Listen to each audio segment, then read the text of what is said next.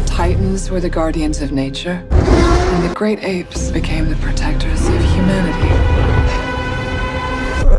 Is that a mini Kong?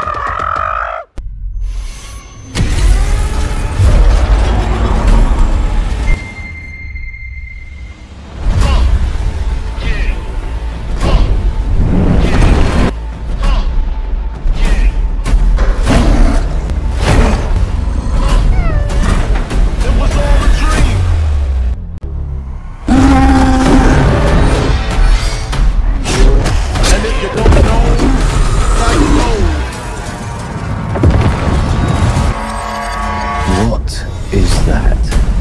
Kong can't stop this on his own.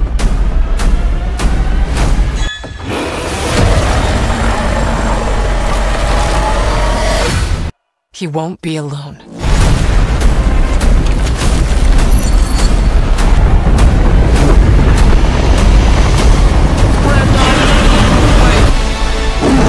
The last time we cleaned that up, it was almost the end of Kong. They don't have to like each other.